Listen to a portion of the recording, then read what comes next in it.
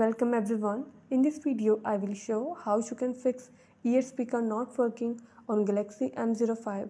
Before starting this video, please press the bell icon or do subscribe this channel.